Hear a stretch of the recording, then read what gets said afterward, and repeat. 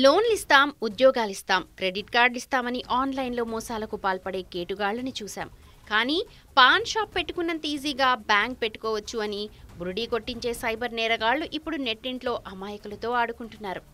ఇలాంటి సైబర్ గాళ్ళ ఘరానా మోసం చూసి పోలీసులే షాక్ అవుతున్నారు విజయనగరం జిల్లా గుర్ల మండలంలో ఎవరూ ఊహించని మోసం వెలుగు చూసింది.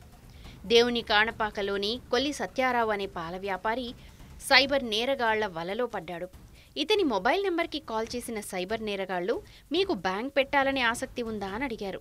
తాము డిజిటల్ బ్యాంక్ ఆఫ్ ఇండియా నుండి కాల్ చేస్తున్నామని ఎస్బీఐ తరపున పనిచేస్తున్నామని నమ్మించారు. అందులో భాగంగా మీ జిల్లా ఏరియాకి ఒక బ్యాంక్ ఇస్తున్నామని చెప్పారు.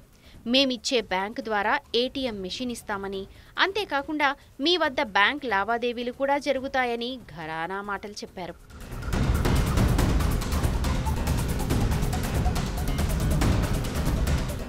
ఇక మీ ఏరియాలో ఉన్న ఎస్బీఐ సర్వీసులన్నీ మీరే నిర్వహించాలని చెప్పారు. నిందితులు చెప్పిన మాటలతో బ్యాంక్ బిజినెస్పై ఆసక్తి చూపించాడు బాధితుడు. దీంతో ప్రక్రియ ప్రారంభించేందుకు ఓకే అన్నాడు. వెంటనే నిందితులు అడిగిన డీటెయిల్స్ ఇచ్చాడు. ప్రక్రియలో భాగంగా పలుమార్లు బ్యాంకుల ద్వారా సుమారు ఎనిమిది లక్షల మేర నగదు నిందితుల అకౌంట్స్కి బదిలీ చేశాడు. అలా వారు అడిగినప్పుడల్లా అమౌంట్ ఇస్తున్నప్పటికీ పంపిస్తామని చెప్పిన ఏటీఎం మెషిన్ ఎక్విప్మెంట్ రాకపోవడంతో అనుమానం వచ్చి పోలీసులకు ఫిర్యాదు చేశాడు.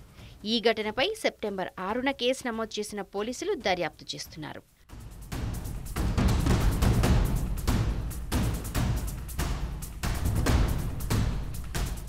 తమకు దొరికిన ఆధారాల మేరకు మోసాలకు పాల్పడుతోంది బీహార్ గ్యాంగ్గా గుర్తించారు పోలీసులు.